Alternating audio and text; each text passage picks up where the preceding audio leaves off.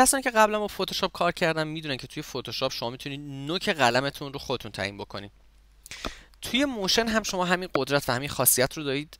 با این اختلاف که حتی می‌تونه movie هم باشه. خب بهتر با هم ببینیم.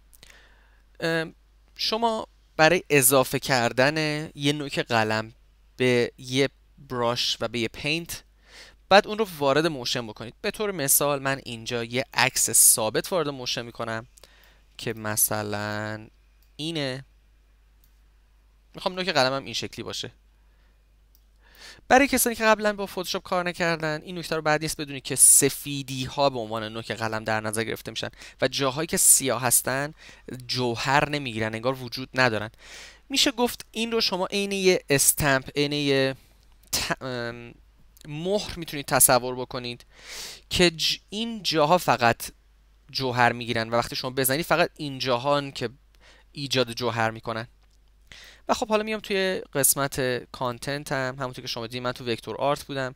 میام توی simple symbols و یه چیز انیمه دار رو هم انتخاب می‌کنم. به طور مثال اینجا من یه مرغ دارم که البته شاید از اون خوشم نمیاد. بذارین این فونت ژاپنی این کانجی از این خوشم میاد. اینو drag می‌کنم اینجا. اگه من الان play بکنم تصویرمو شما می‌بینید که این کانجی من برای من انیمه میشه. پس نوک قلم من اگر قرار باشه این کانجی باشه یه چیز انیمه شده است. خب خیلی بزرگه این اجازه بدیم با هم خورده کوچیکش بکنیم. خب من میام توی inspector. paint م رو انتخاب می‌کنم. میام توی قسمت shape و اولین قسمت که استایل هست. شما برای نوک قلمتون می‌تونید solid رو انتخاب بکنید که همینجوری که شما ببینید خشک و سفته airbrush رو می‌تونید انتخاب کنید که fade داره نرمی داره و نرمی رو می‌تونید از اینجا تعیین بکنید. به طور مثال می‌تونید سفتر یا حتی نرمترش هم بکنید. و اما عنوانی که توی این درس خیلی بر ما مهمه ایمیجه. من F5 رو می‌زنم تا لیر پلتم باز بشه. و این کنجی رو هم ناپدید می‌کنم. فعلا کاری باش ندارم. میرم سراغ خود این مولکول. چیزی که شما می‌خواید نوک قلمتون بشه رو بعد از اینجا درگ بکنید توی این براش سورس. حالا من اگه خود این رو هم ناپدید بکنم بیام اینجا. خیلی بزرگترش بکنم و spacing ش رو هم بزرگتر بکنم. شما می‌بینید که دقیقا همون نوک قلمیه که من براش تعیین کردم.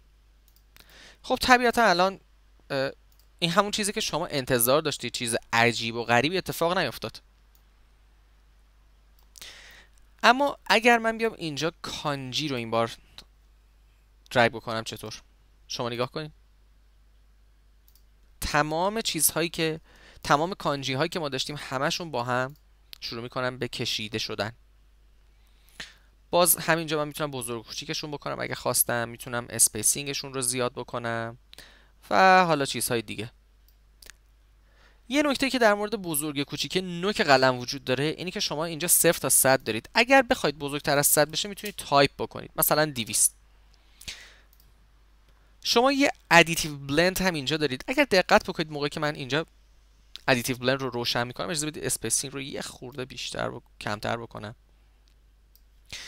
جاهایی که brush ها روی هم میرن رو نگاه بکنید. زمانی که من additive blend رو می‌زنم جاهایی که brush ها overlap میشن و روی هم میرن تصویر یه مقدار روشنتر میشه. در واقع سفیدی ها به هم add میشن. به خاطر همینه که اسمش additive blend ه شاید اینم بد نباشه بدونید بعضی جاها تصویرتون رو می‌تونه خیلی قشنگتر بکنه. first point offset شما شروع شماست. و در واقع خطی که من اینجا دارم یه همچین شکلیه. و last point ما انتهاشه. به طور مثال من می‌تونم اینجا animate ش بکنم بیام تو فریم اول auto key رو روشن بکنم بگم مثلا صفره و فرزن توی چهل فریم خط من کامل میشه. خب حالا می‌تونم ببینم. می‌بینید که کشیده میشه توی چهل فریم و انیمه هم داره. خب نکته دیگه که ما توی قسمت استایل به عنوان آخرین نکته باید بدونیم البته اگه اجازه بدید من روی راجبه ایربراش یه توضیح کوچیک دیگه هم خدمتتون بدم. همونطور که قبلا گفتم ایربراش رو شما می‌تونید با این گرادیانی که اینجا دارین یعنی یه مپ سیاهی و سفیدی تیزی این قسمت رو تعیین بکنید. هر چقدر این گرادیان نرمتر باشه خط شما نرمتر خواهد بود و هر چقدر تیزتر باشه خشکتر خواهد بود. من قطر رو یه خورده کمتر بکنم. خیلی بزرگ شد. ایراش رنگم رو که رنگ هم که از اینجا می‌تونید تعیین بکنید چیز خیلی عجیبی نیست برای توضیح دادن. براش پروفایل شما از اینجا می‌تونید بهش دسترسی داشته باشید. چیز خاصی نیست فقط مثلا شما اگر روی کروم بذارید میاد براتون یه سری رنگ رو اینجا قرار میده و یه سری پریست های آماده هستن. که شما می‌تونید از اینجا انتخابشون بکنید. برای تیرگی و روشنی نوک قلمتون. اینجا چون ما ایربراش داریم و خودمون رنگ داریم بهش میدیم زیاد شاید برای ما کاربرد آنچنانی نداشته باشه. اما نکته که می‌خواستم بگم چی بود؟ شما اینجا یه outline دارین و یه fill. چه تفاوتی با هم دارن؟ اجازه بدید من یه paint جدید ایجاد بکنم که مثلا این شکلیه. fill شما اگر قبلا با Illustrator کار کرده باشید حتما دیدید توی Illustrator fill بین دو تا خط رو پر می‌کنه. پس من اینجا اگر fill رو بزنم شما می‌بینید که بین این دو تا خط برای من یه رنگ می‌ذاره. که حالا مثلا من می‌تونم بیام اینجا تغییرش بدم یا هر چیز دیگه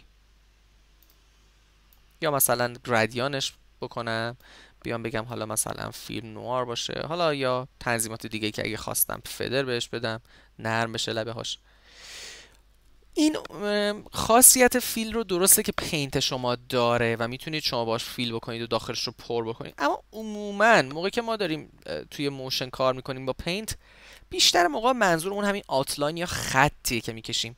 کمتر پیش میاد که من از paint برای fill استفاده بکنم. عموما outline برای این کار فکر کنم گزینه بهتری باشه. ولی خب این option رو هم شما دارید. اگر دوست داشتید می‌تونید این کار رو هم انجام بدید.